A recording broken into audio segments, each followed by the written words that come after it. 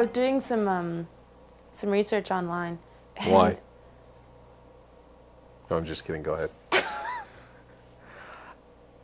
Right. So I was doing some research online, and um, it was a there's this one guy was talking about how he he knew a place was haunted because his testicles would tingle. I Say- kid you not. That's exactly what he said. He claimed that when he went into a place, he could tell if it was haunted because his testicles would tingle. Every place I've ever been has been haunted then.